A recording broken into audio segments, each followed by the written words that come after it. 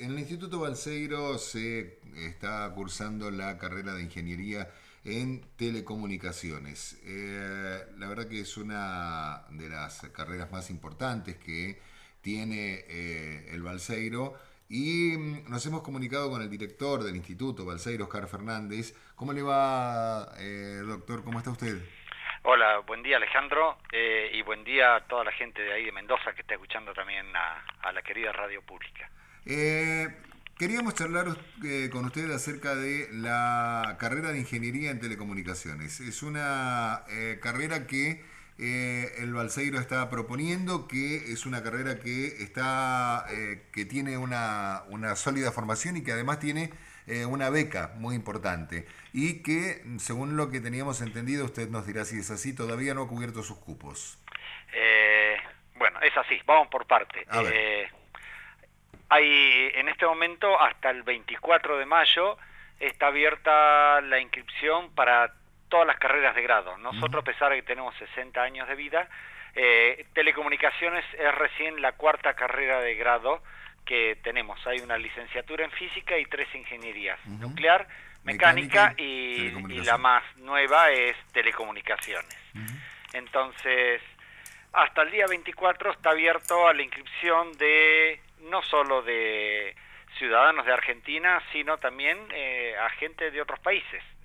Y entonces se cierra el día 24 la inscripción y el día 31 de mayo simultáneamente en no menos de media docena de ciudades de Argentina, más varias embajadas y universidades, sobre todo de Latinoamérica, se, se toma un examen eh, exactamente igual y no hay posibilidad de copiarse porque están de, de, un país al otro, así que no, no, no, para, para que sea lo más transparente posible, ¿no?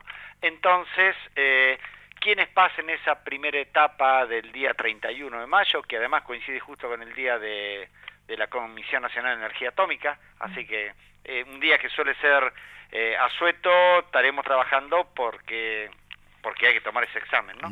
Y típicamente una semana después de esa, hacia los primeros días de junio, se invita a una segunda ronda en la ciudad de Buenos Aires a los que hayan pasado exitosamente esa primera etapa y para una entrevista personal y ahí se termina definiendo los los mejores que hayan pasado algún cierto mínimo entonces y termina habiendo unos 15 alumnos en física, 15 en ingeniería nuclear, 10 en mecánica y para esta nueva carrera de telecomunicaciones hay hasta 15 alumnos.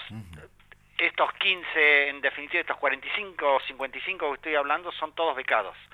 No concebimos que existan alumnos de las carreras de grado y tampoco de las de posgrado que no tengan una beca. Ajá, la beca es total. La beca es total, exactamente. Eh, se los ve muy rozagantes, o sea que no, en serio, la, la beca... Están bien. ¿Eh? Están bien, con la beca están bien. están bien los 55. Sí, sí, sí, sí, totalmente. Así que, dime, sí. Una pregunta, hola, hola, ¿qué tal? Buen día. Quería consultarle cuáles son los requisitos que hay que tener para poder ser un candidato a estas becas y obviamente para ingresar al Instituto Balseiro. Sí, eh, son, son muy sencillas, ¿no? Eh, normalmente los alumnos vienen luego de haber pasado eh, por unos estudios previos en una en una carrera de normal de Argentina, que sea una licenciatura en física o matemática o biología o ingeniería, hace esos dos primeros años han cubierto un conjunto de conocimientos básicos en el área de matemática y física y entonces eso los acredita, tienen que ser carreras de más de cuatro años de, duración, o sea, por lo menos licenciaturas o ingenierías, eh, no hay límite de edad, no se les exige que sean argentinos, tampoco tienen que acreditar conocimiento de idioma extranjero en, eh, en el arranque, así que el que fue buen alumno los dos primeros años eh, y que se tiene todas las posibilidades para ir y, y someterse a este examen y y si le va bien meterse en esta aventura sureña que se llama Instituto Balseiro y una y toda una cosa que lo hace bastante particular, ¿no? Eh, sí, además muy cercano a nosotros, más allá de ser sureño, porque este, tiene eh, de amplia relación educativa con la Universidad Nacional de Cuyo. Totalmente. A ver, eh, interrumpo una sola cosa nomás, que es lo que uno siempre dice y que lo estoy notando todavía mucho más eh, en este último tiempo.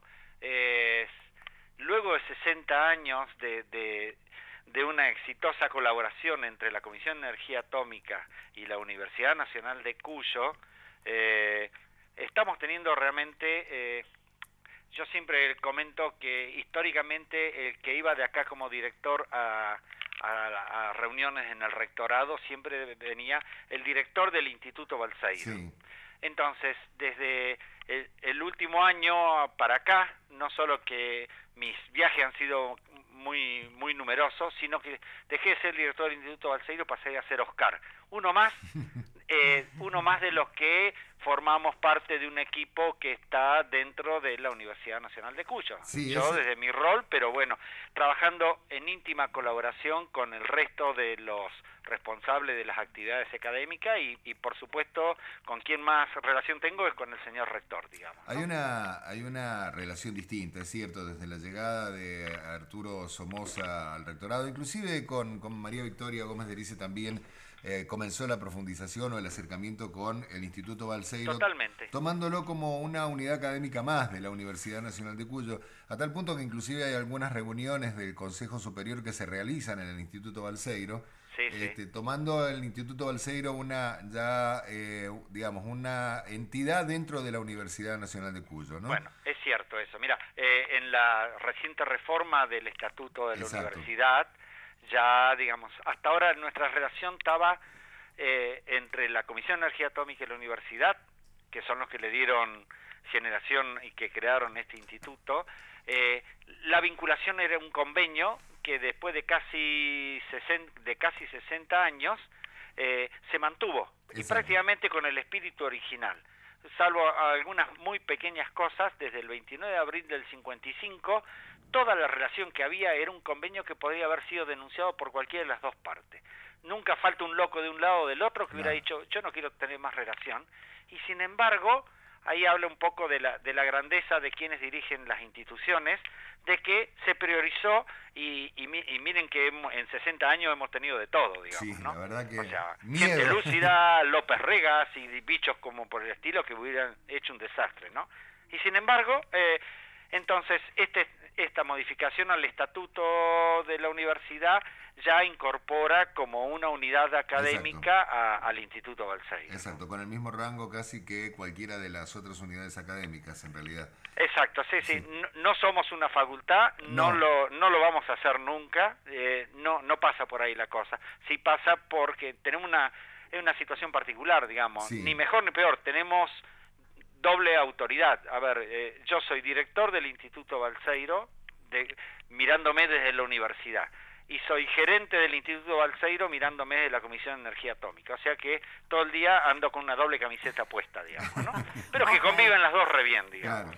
Oscar, otra pregunta que te quería hacer con respecto a esto y eh, teniendo en cuenta por ahí la cantidad de aspirantes o la cantidad de inscriptos que hay en las carreras, eh, ¿por qué está, digamos, como poco interés o falta de promoción en, carreras que tienen que ver más con las ciencias exactas?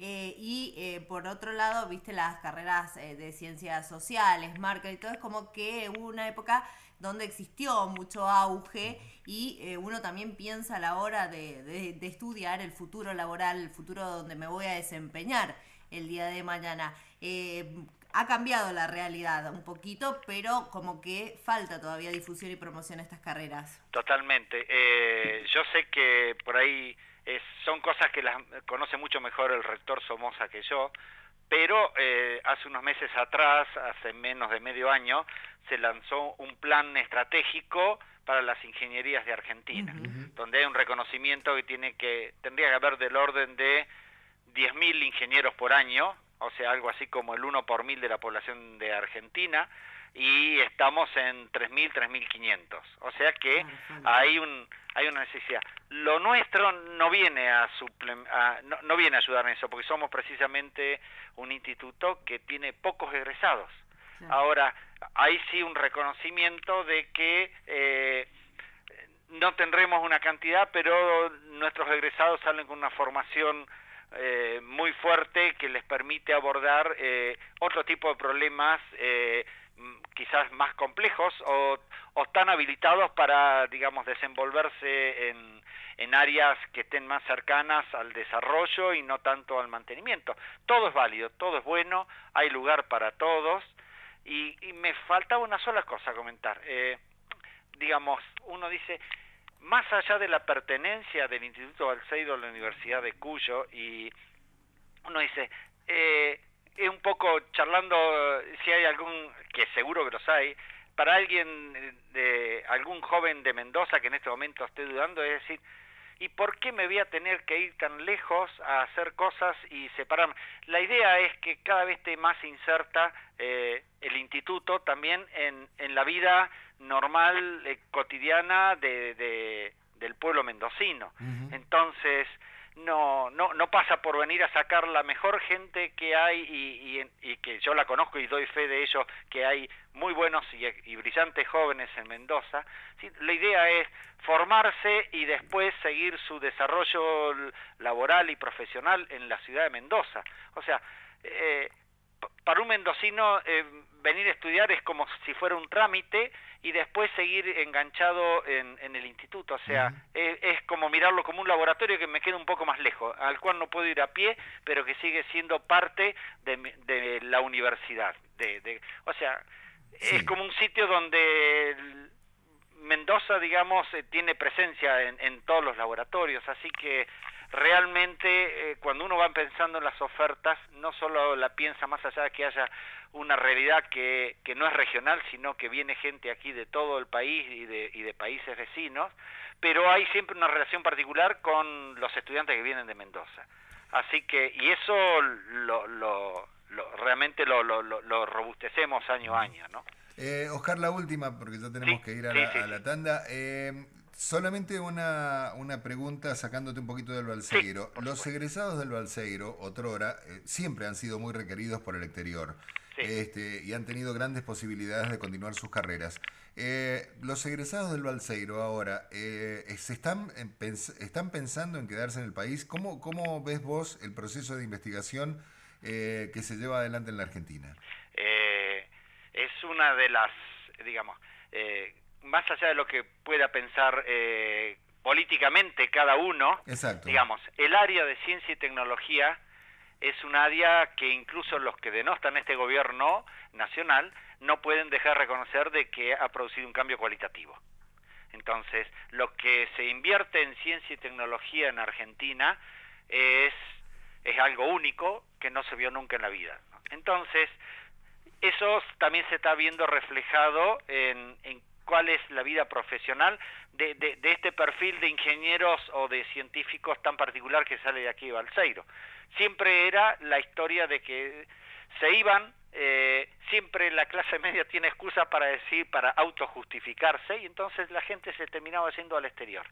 Lo que está pasando es que es eventualmente por ahí se van a hacer un postdoctorado, la gente que está en el área de ciencias, y los que se reciben de ingeniería están en proyectos muy desafiantes que tiene Argentina en este momento, en el área aeroespacial, en el área de diseño de nuevos reactores. O sea, hay un trabajo que lo está llevando a, a, justificar por qué se metieron a estudiar, por ejemplo, ingeniería nuclear. Entonces, están construyendo un reactor.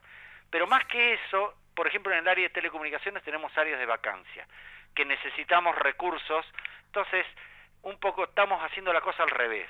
Estamos invitando a que se acerque gente que está en Europa, sumida en países con crisis, y que vengan entonces a trabajar a Argentina. O sea, estamos, esa historia de que nos roban los cerebros, digamos, no hay excusas, digamos, ahora, ¿no? Hay, hay mucho trabajo desafiante y, y entonces, y trabajos relativamente bien pagados, o sea, entonces, estamos tratando de traer también gente del exterior. ¿Por qué? Porque acá hay proyectos y hay una cosa que está caminando. y hay pocos ingenieros. Rapidísimo, ¿cómo hago para inscribirme?